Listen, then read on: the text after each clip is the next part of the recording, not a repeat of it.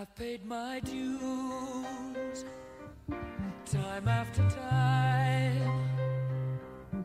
I've done my sentence, but committed no crime. And bad mistakes, I've made a few. I've had my share.